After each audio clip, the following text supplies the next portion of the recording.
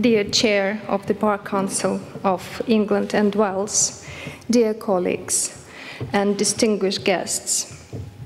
It is a great honor and at the same time a huge responsibility to share my experience and to represent my thoughts standing at this place at Middle Temple, where every millimeter is a history in a remarkable year of celebration 40, um, 450 years of Hall.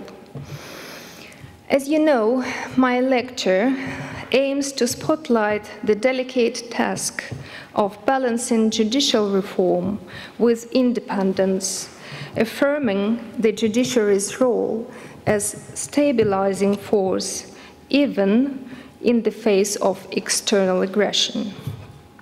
I find it sensible to start with introductory remarks concerning Ukraine's legal and judiciary systems.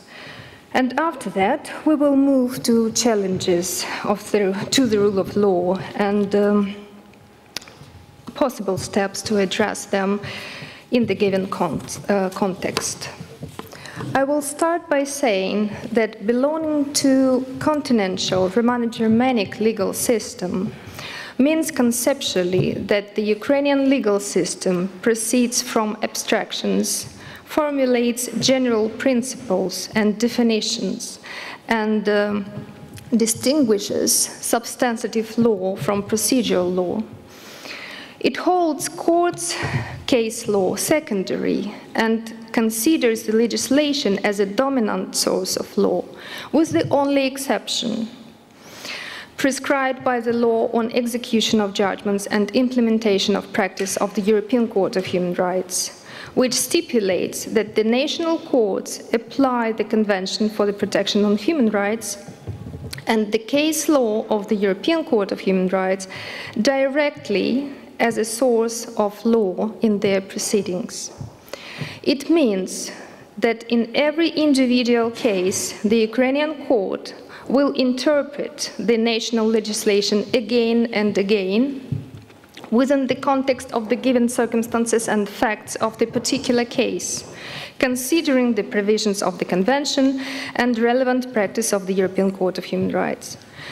The national courts of Ukraine may also apply sources of international law if it is needed, they may refer to the judgments of the Court of Justice of the European Union, but only as the interpretation acts of the European Union law and not direct sources of law. On one hand, the application of multiple sources of law in every case gives more room for involving the national court's interpretation practice.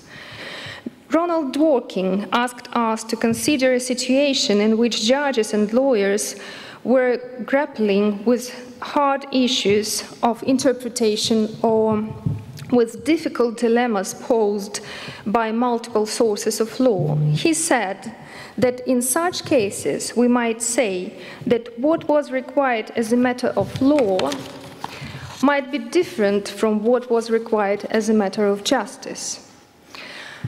That's why, on the other hand, the possibility of interpreting the same laws in similar cases every time the Ukrainian court applies them complicates the coherence of the court's case law and law enforcement practice. To address this issue, as well as many others, such as the low level of public confidence in the judiciary and serious structural deficiencies identified by the European Court of Human Rights, the comprehensive judicial reform was started in Ukraine after the Revolution of Dignity 2014. It was a request of society to reform the judiciary and to bring to disciplinary responsibility those judges who detained participants of the revolution without sufficient uh, legal basis, thus casting doubt on their independence. The reform led to the transformation of the four-level general court system which was first and second instances, high courts with specialized jurisdiction and Supreme Court of Ukraine, to a three-level system, first and second instances and the Supreme Court. The reform was supposed to bring a new philosophy of the Supreme Court and the judiciary as such, fundamentally new human-centric approaches, the best court management practices, and a new structure of judgments and quality of motivation. As a result of reform, the former Supreme Court of Ukraine was restructured and renamed the Supreme Court without a word Ukraine. Uh, through the amendments to the Constitution, which came into effect in September 2016. These draft amendments to the Constitution were discussed with the European Commission for Democracy through Law, Venice Commission. The new Judiciary Act 2016 provided for transitional provisions, including the establishment of the new Supreme Court and the appointment of judges based on competition results. The judges of the former Supreme Court of Ukraine had the right to participate in the competition for the new Supreme Court appointments. In November 2016, the High Qualification Commission of Judges announced a competition for 120 posts of judge for the Supreme Court. A total of 846 candidates participated in the competition. Among the candidates were 17 judges of the Supreme Court of Ukraine, and six of them became the judges of the new Supreme Court. However, the plenary of the former Supreme Court of Ukraine challenged the provisions of the new Judiciary Act before the Constitutional Court of Ukraine, which ruled in their favor. And later, eight judges of the former Supreme Court of Ukraine made an application to the European Court of Human Rights. The judgment in this case was delivered in July 2021. In the case Gumenyuk and others against Ukraine, the European Court of Human Rights held that there had been a violation of Article 6, paragraph 1 and Article 8 of the Convention. The court found that a clear lack of coordination in addressing the applicant's situation for a considerable period seriously undermined the legal certainty and predictability of the constitutional principles on judicial independence. Returning to the selection process, it was the first time in the history of Ukraine that the selection of judges to the Supreme Court was held in the form of open competition, grounded on the best practices of different 45 states, including US and the UK. It was the first time open for advocates and academicians, as well as career judges. The selection process took one year and included several stages, such as national legislation, knowledge examination, drafting a judgment, several psychological tests, and the interview with psychologists. Interviews with the member of high judicial, um, high quality Commission of Judges and the High Council of Judges as the two key judicial governance bodies. In the final ceremonial stage, the President of Ukraine issued a decree on the appointment of judges of the proposal of the High Council of Judge, Justice. The new Supreme Court began operating on the 5th, 15th of December 2017. It retained the power of cassation review and it was composed, composed on of the Grand Chamber and four cassation courts, uh, administrative, commercial, criminal, and civil cassation court. It consists of 152 judges to date, including 21 judges of the Grand Chamber, and the number of judges of the Supreme Court reducing naturally because of the retirement of judges. The judicial reform 2016 introduced a large number of innovations. The new tools to ensure the unity and coherence of the court's practice, the new procedure for reference to the Constitutional Court, model case procedure, etc. Despite all previous work, unfortunately, the Supreme Court became known because of a high profile corruption case that was reported in the middle of May this year. The plenum of the Supreme Court reacted immediately, and within two days, its president was given a vote of no confidence and dismissed from his position. He was detained, and an invest uh, investigating judge rejected several times to release him on bail. The National Anti Corruption Bureau and the Specialized Anti Corruption Prosecutor's Office completed the in investigation in this case recently on the 4th of October. It means that the materials of the case must be transferred to the High Anti-Corruption Court of Ukraine and open to the defense perusal. The version of suspicion is that the bribery was connected with decisions in favor of businessman Konstantin Zhevago in the case of the Poltava mining and processing plant. Businessman Zhevago rejected all the accusations of trying to bribe the Supreme Court.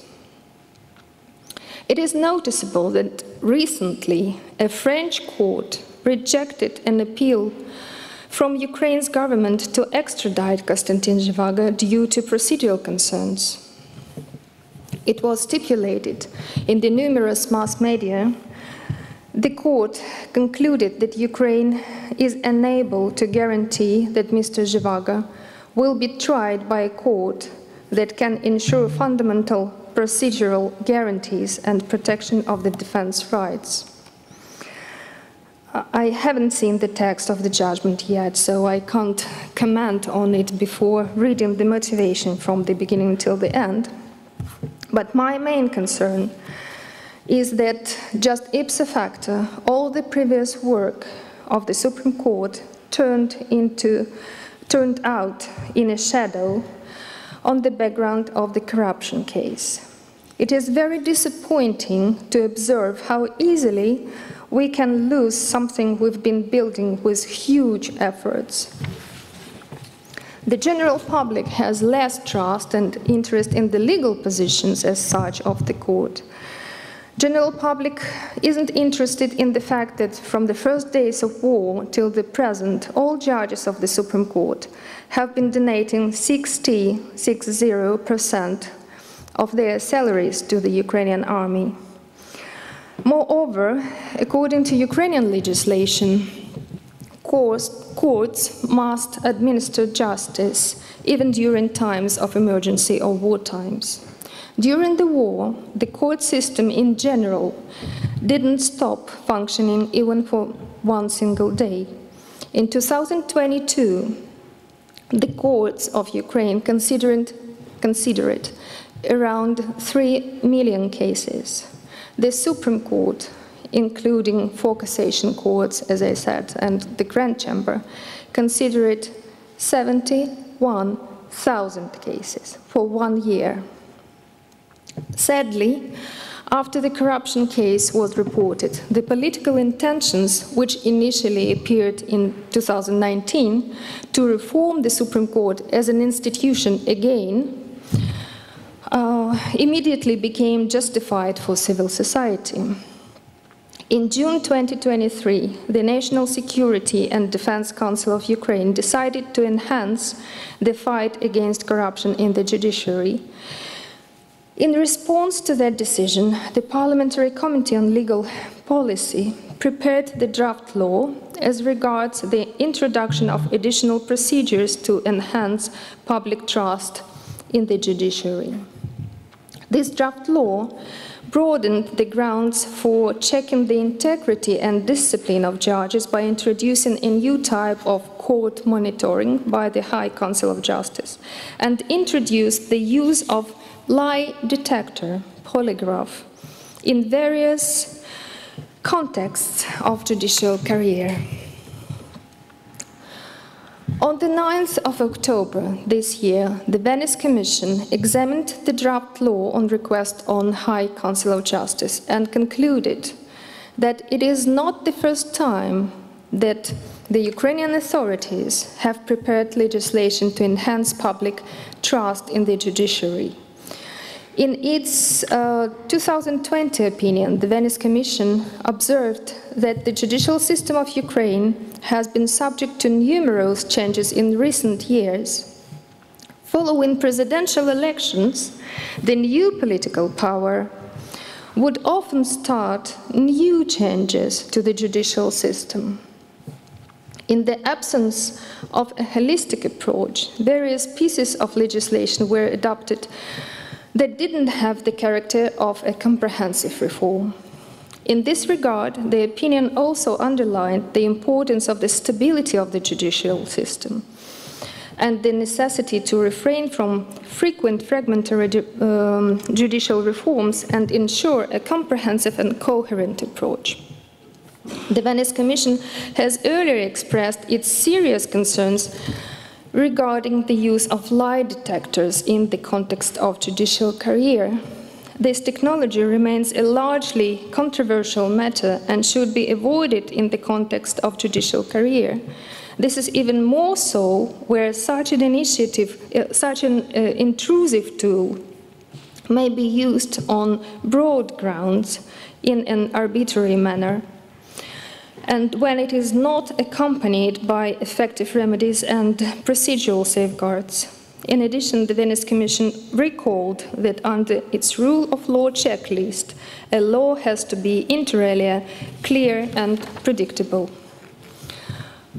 I should mention that after this opinion, just last week, the above mentioned draft law was improved and the idea of applying a lie detector was removed from the draft text.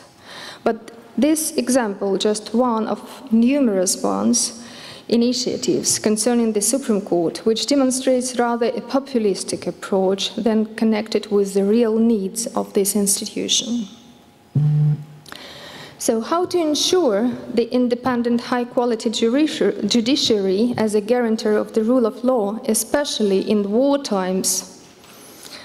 The war that has been ravaging Ukraine since early 2014, and especially the full scale invasion in February last year, brought new challenges and questions, such as Will Russia's war kill the rule of law in Ukraine and Europe?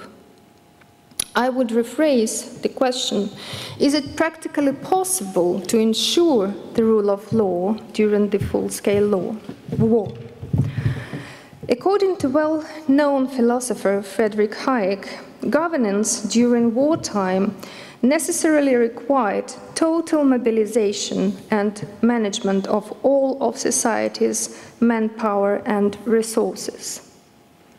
In this connection, my question is, where are the limits of such mobilization? May it affect the constitutional rights and freedom of, freedoms of a person, which are guaranteed in a peaceful time?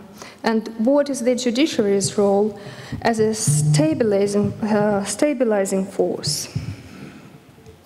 To respond to these questions, first of all, I would like to say that in times of war, uh, laws of peace change to laws of war eventually. During the international armed conflict, the principles and norms of international humanitarian law must be respected. And national martial law may provide certain exceptions, limitations, or restrictions from general rules. According to the constitution of Ukraine, under the conditions of martial law or state of emergency, specific restrictions on rights and freedoms may be established with the indication of the period of effect for such restrictions. Secondly, during times of war, an interaction between the international law of human rights and international humanitarian law is common on the stage. In the context of the protection of individual rights and freedoms, Ukraine is currently under the regulation of Article 15 of the Convention, which stipulates that in time of war or other public emergency threatening the life of the nation, any high contracting party may take measures derogating from its obligations under this convention to the extent strictly required by the exigencies of the situation, provided that such measures are not inconsistent with the other obligations under international law. And at the same time, non-derogable rights under the convention, convention are well known. There are rights to life, the prohibition of torture, prohibition of slavery, and no punishment without law. Thirdly, the judiciary's role manifests itself in the fact that there must not be any act or decision of state authority that is out of judicial control or beyond the rule of law. This role equally concerns international, supranational, and national courts in the frames of their jurisdiction. And I should say that a special value of constitutional judicial control appears in connection with balancing the public interest, which changes in times of war to defense, national security, protection of the rights of freedom and freedoms of others, and individual constitutional rights and freedoms. Despite a state having a wide margin of appreciation, it should pursue a legitimate aim which must be clearly defined. And the essential, uh, essential attention within the court's methodology in such cases must be paid to the proportionality test. In this context, I find fair enough Lon Fuller's opinion, who said, applying a norm to a human individual is not like deciding what to do about a rabid animal or dilapidated horse. It involves paying attention to a point of view. As such, it embodies a crucial dignitarian idea, respecting the dignity of those to whom the norms are applied as beings capable of explaining themselves. themselves. Indeed, wartime and times of emergency challenge the rule of law. But as far as judicial power is not replaced by police or military operations or revolutionary um, expediency, Russia's war will not kill the rule of law in Ukraine and Europe. Thus, the role of the independent, high-quality judiciary as a guarantor of the rule of law became even more important in challenging times, and I suppose we all know about it. In this respect, Lord Neuberger, the former president of the Supreme Court of the United Kingdom, during his Bar Council Law Reform lecture in 2016, emphasized the United Kingdom has enjoyed over 300 years without a revolution, invasion, or dictator. There is a danger of taking the rule of law, and in particular the importance of an independent, high quality judiciary, for granted. And this danger is reinforced if the public doesn't understand how and why the system works as it does. In contrast and in comparison with Ukraine, the judiciary has not had any period of stability for the last at least 100 years. Soviet totalitarianism and Second World War, perestroika and the collapse of the USSR were changed to independence times of turbulence and instability, everlasting judicial reforms, all kinds of experiments, and finally the full-scale Russian invasion. As a result, the general public doesn't understand how and why the system works as it does, which causes a lot of political manipulations with public opinion, and in particular cause a low level of public confidence in the judiciary. Russian war in Ukraine is a tragedy that will span generations. It is an existential threat to the Ukrainian nation.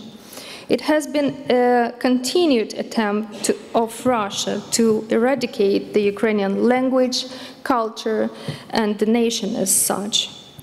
However, the international agreements after the Second World War, the shared idea of never again, and the Budapest Memorandum 1994 make the current try of Russia as brutal and cynical as ever before, and therefore unprecedentedly threatening the international legal order and the international rule of law.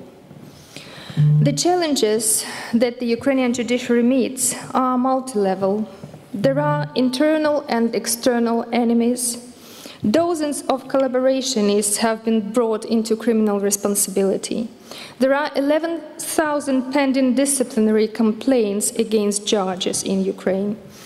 There is a conflict of worldviews between judges representing Soviet law schools and contemporary law schools.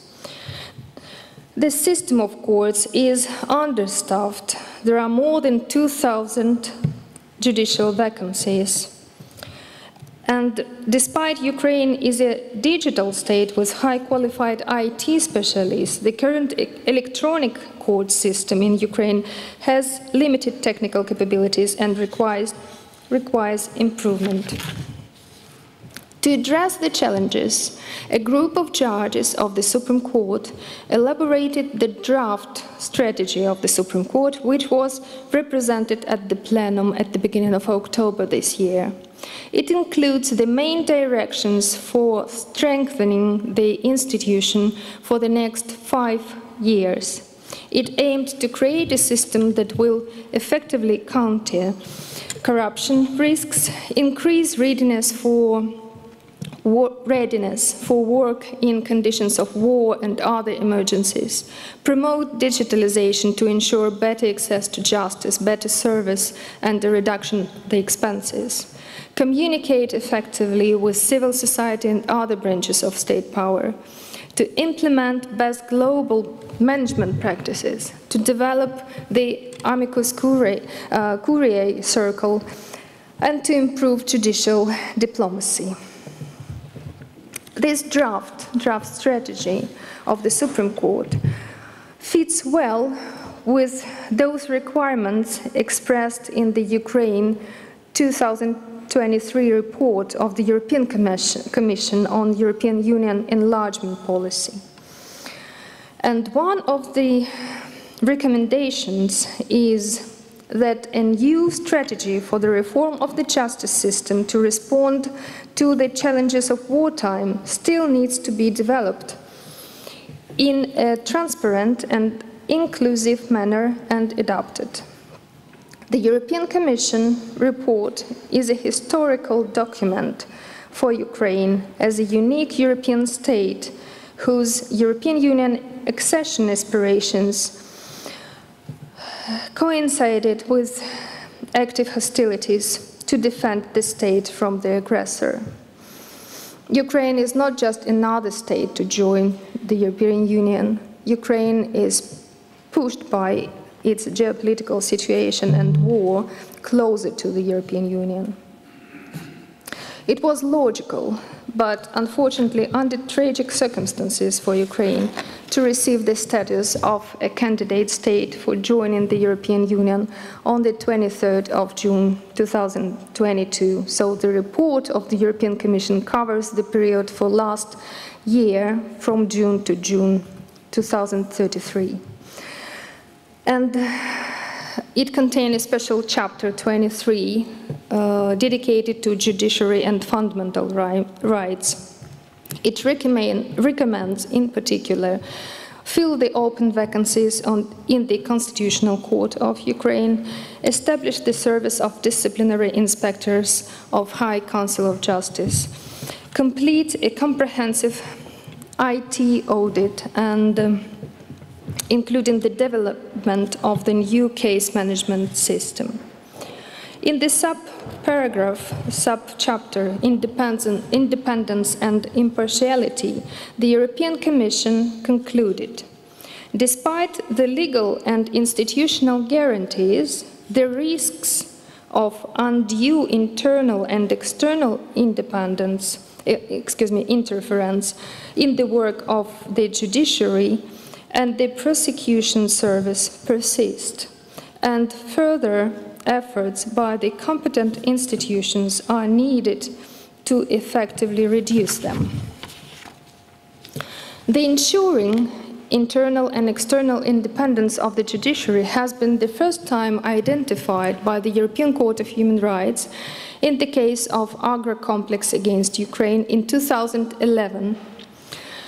This case concerned the insolvency proceedings initiated by a private company against the biggest oil refinery in Ukraine in an attempt to recover its outstanding debts. The applicant company complained in particular about the unfairness of the insolvency proceedings, alleging that the domestic courts had not been independent or impartial given the intense political pressure surrounding the case. The state authorities having a strong interest in its outcome. And the European Court of Human Rights held that there had been a violation of Article 6, paragraph 1 of the Convention as regards the lack of independence and impartiality of the domestic courts.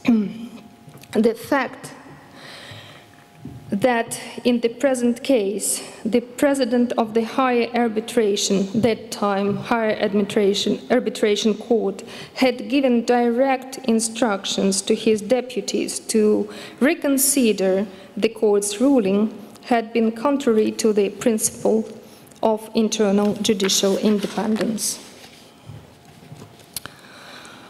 In the relatively recent case uh, of Samsin against Ukraine, a different aspect of the issue of independence was considered, namely automatic, automatic lustration as a legal ground for the dismissal of charges. The case concerned the dismissal of a former Supreme Court of Ukraine judge, Igor Samsin, under the Government Lustration Act, brought in to address negative developments in public service in the period when former President Viktor Yanukovych was in power.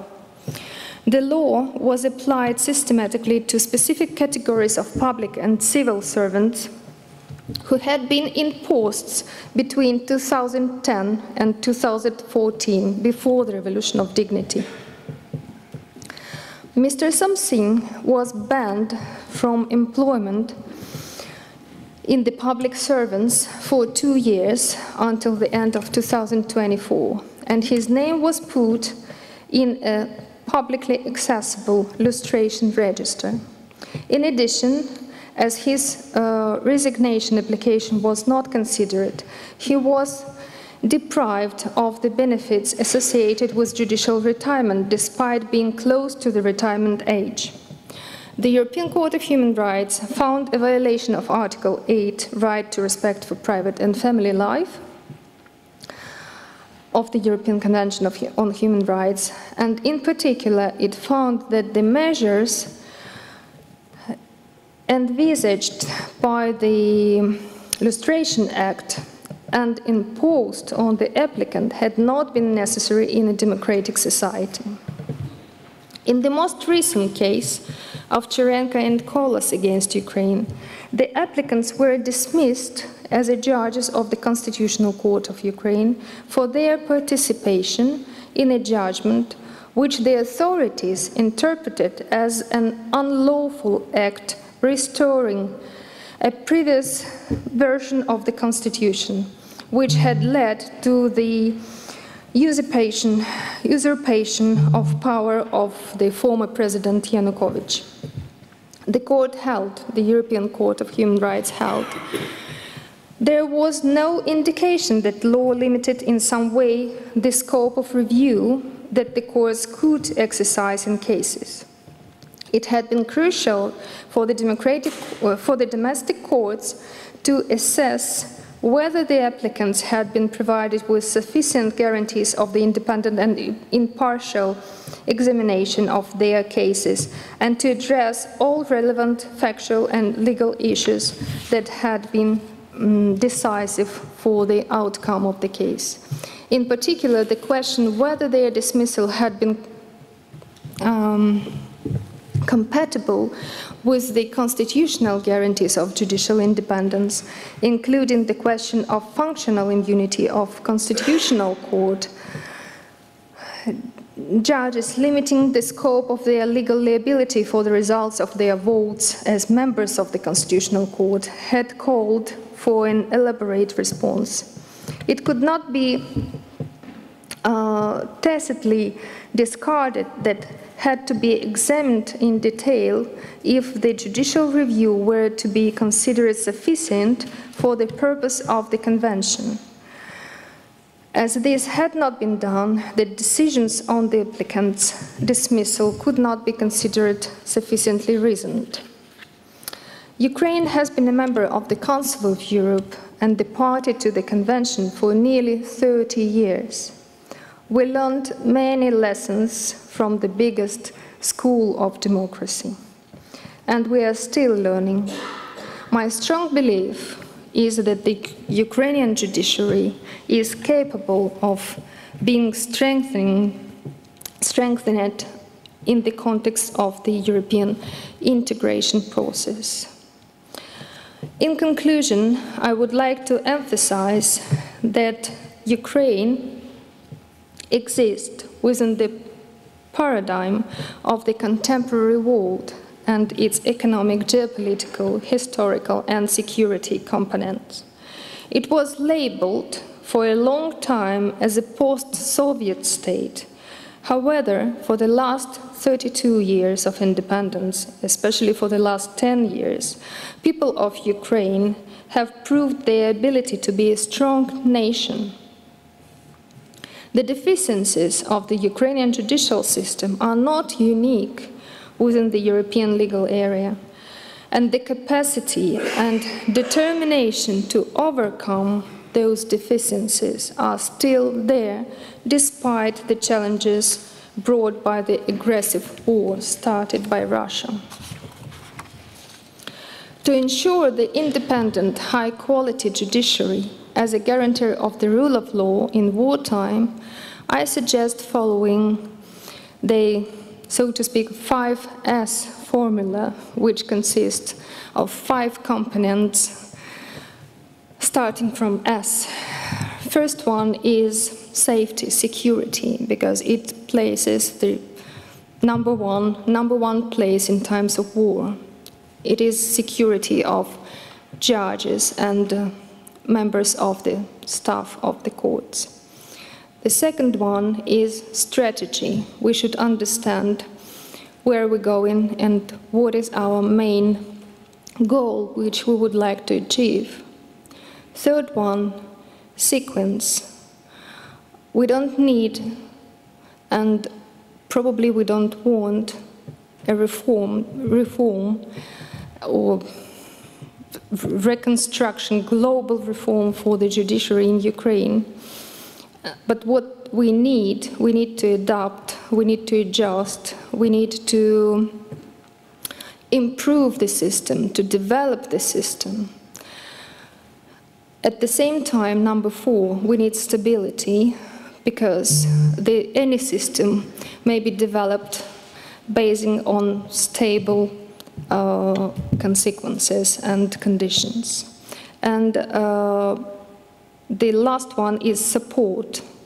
Of course, the judiciary of Ukraine needs support of the European Union and other international partners to survive during the times of war and to develop and to restore the country and to uphold the rule of law and democracy in Ukraine after the war will be finished. Objectively, there is a big difference in the administration, the UK and the Ukrainian judiciary systems.